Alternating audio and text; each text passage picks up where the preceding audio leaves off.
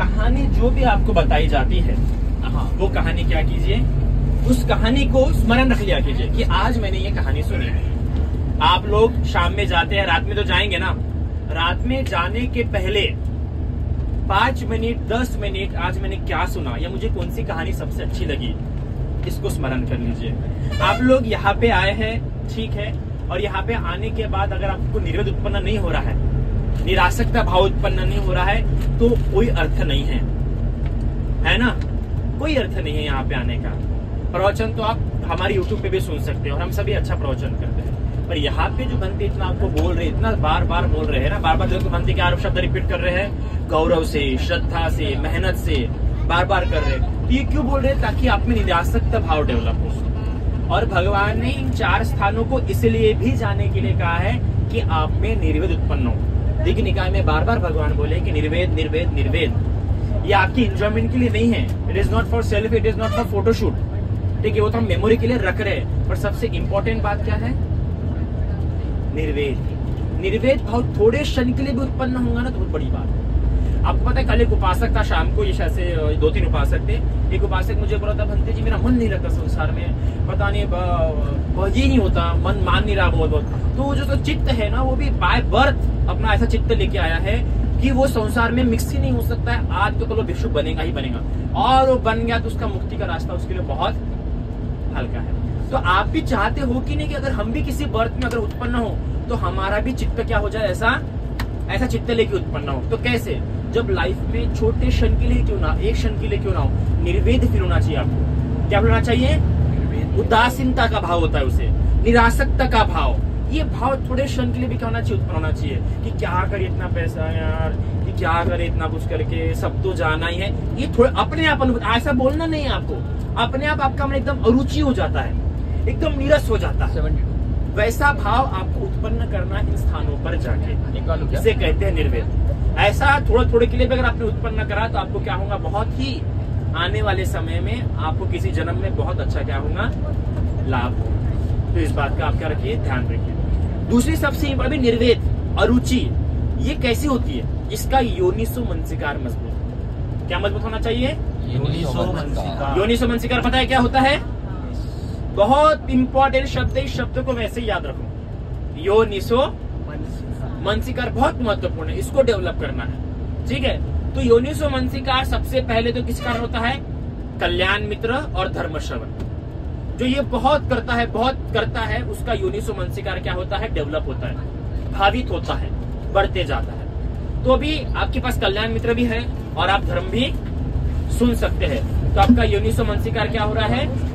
Develop होगा ही होगा अपने आप आपको बातों में देख के क्या होंगी? अरुचि उत्पन्न होंगी। तो इस योनिसो मानसिकार को कैसे अच्छे ऊपरी स्तर तक डेवलप करें?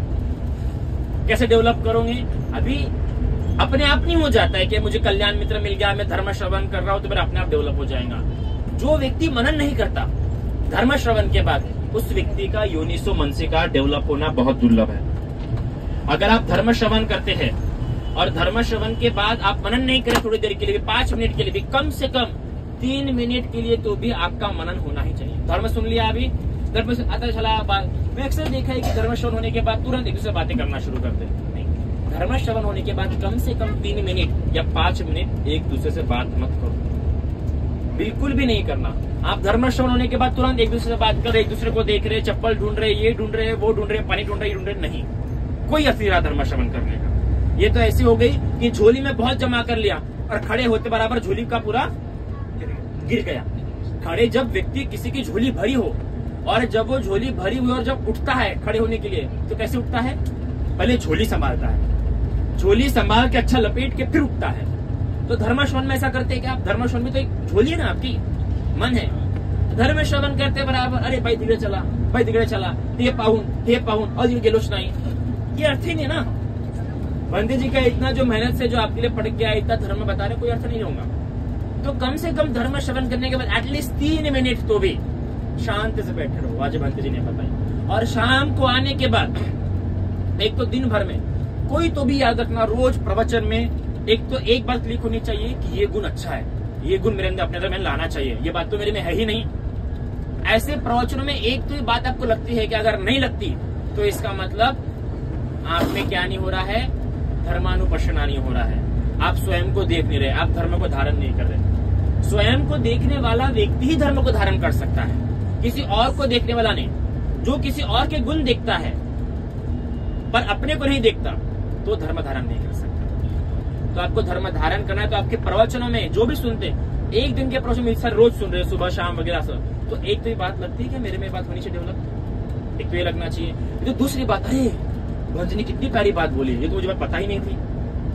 अरे, ये उदाहरण कितना प्यारा है।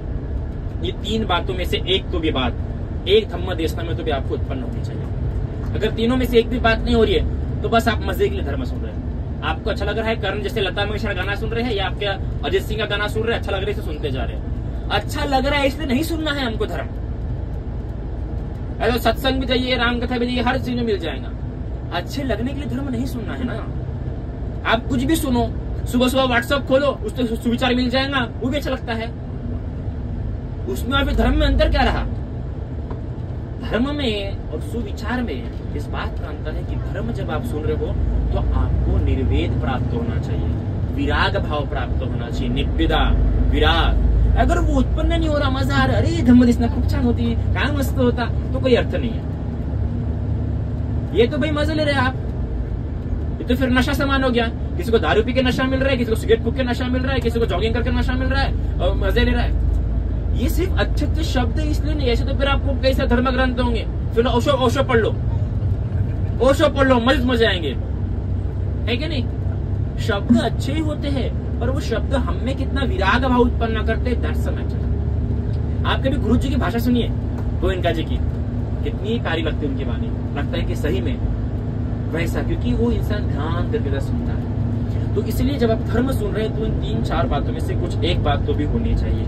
अगर नहीं हो रही है, इसलिए अपने साथ हमेशा एक छोटी डायरी, वो तीन मिनट एक छोटी डायरी और एक छोटा पेन रखो जेब तब मत लिखो, जब धर्म सुन रहे हो, तब मत लिखो, वरना ये भी नहीं रहेगा।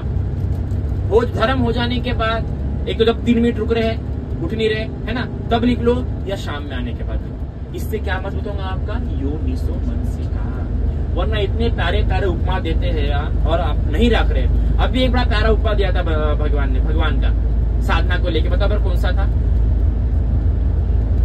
भगवान ने बताया था कि नौ सौ नौ हज़ार। नौ सौ निन्यानवे। क्या था वो? नौ हज़ार नौ सौ निन्यानवे प्रतिशत शरीर उनका क्या हो गया था? मर गया था। पूरे सेल्स वगैरह पूरे क्या हो गए थे? बस एक परसेंट बचा था।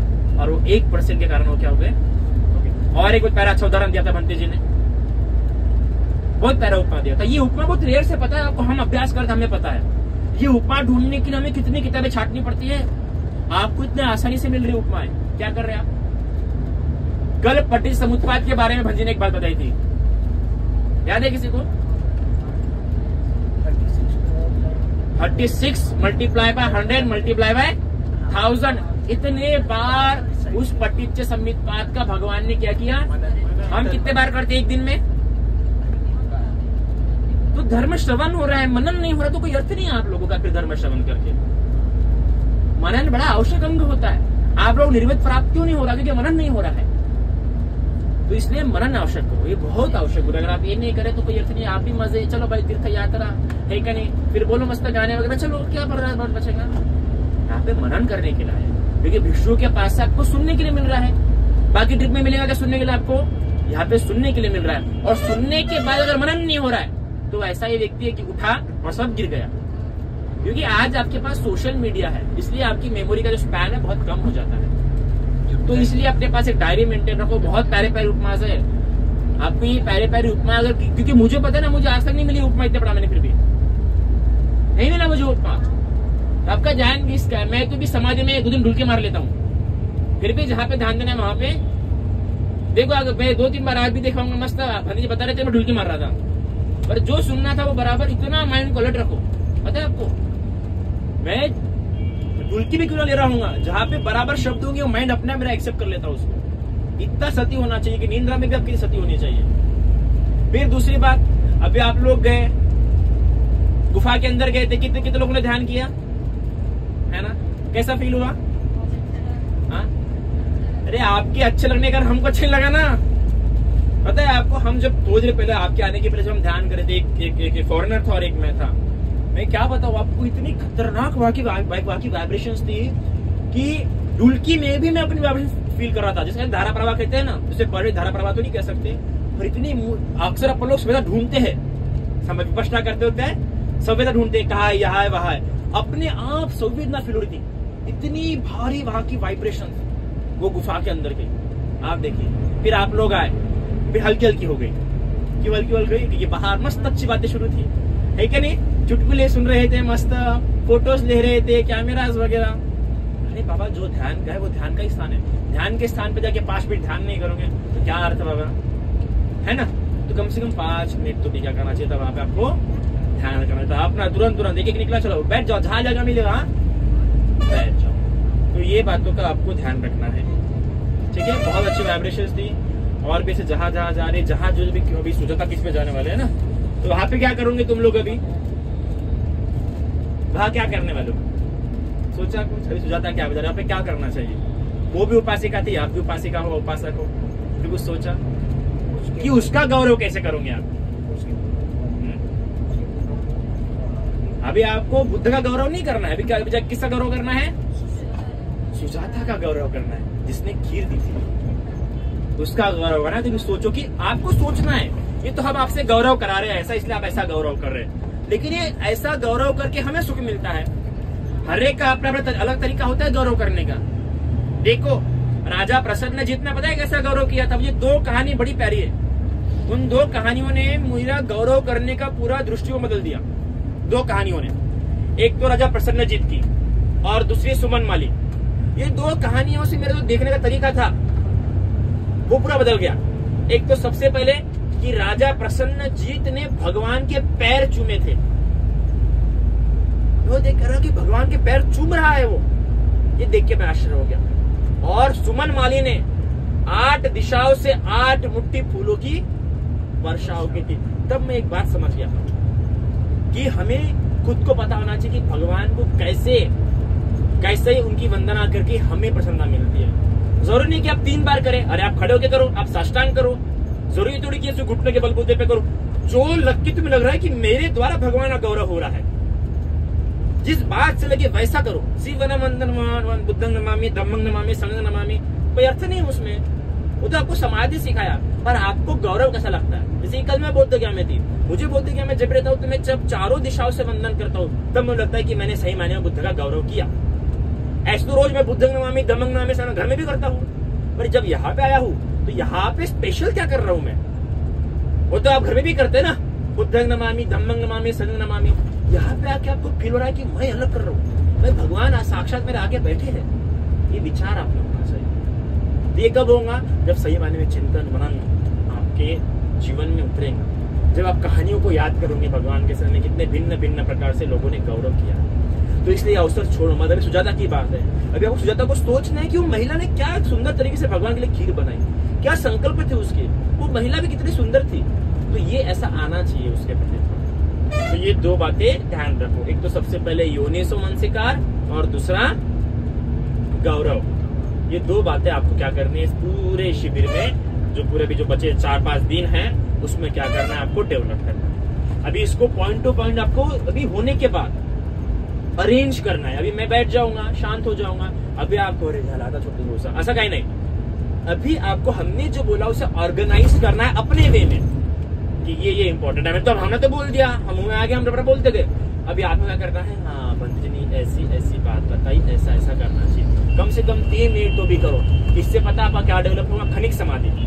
और आपको उपचार समाधि आसानी से क्या हो जाएँगे? प्राप्त हो जाएँगे। उपचार समाधि क्या है? प्रथम ध्यान, द्वितीय ध्यान क्या है? कोई ऑब्जेक्ट पकड़ लेता है वो और फिर उस पर उसका क्या होता है? डेवलप होता है। ये आप लोगों का डेवलप क्यों नहीं हो रहा है? क्योंकि आप लोग उठे, गिर गया सब कुछ, जो भी जमा किए थे। तो ऐसी वाली बातें मत करो, ठीक है ना? तो इन बातों क्या करो?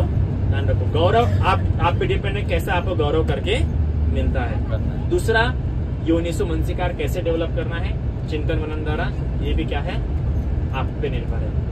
तो इन दो बातों का क्या रखो? ध्यान रखो। हाँ। ठीक है ना फिर? इतना काफ़ी आज के लिए। अरे किसी को आप सॉरी और एक क्वेश्चन देखो कल रात को भिक्षुनी थी। वो कौन था पता नहीं हमारे साथ पर वो देखो भिक्षुनी कितने सुंदर तरीके से भगवान को वंदन कर रही थी। बहुत अरे अगर आपको गाना आता है ना तो गा के भगवान की वंदना करो। जो आता है ज़रूरी नहीं कि वंदन ही करो। गा के वंदना करो। अगर आपको भगवान के गुण याद करके लगता है तो भगवान के गुण याद करो। पर भगवान का वैसा गौरव करो कि लगना चाहिए कि मैं भगवान का गौरव करती हूँ। वो गौरव शब्द को समझ जाओ पहले। है ना? इससे गौरव हो उससे करो। ओके? सारू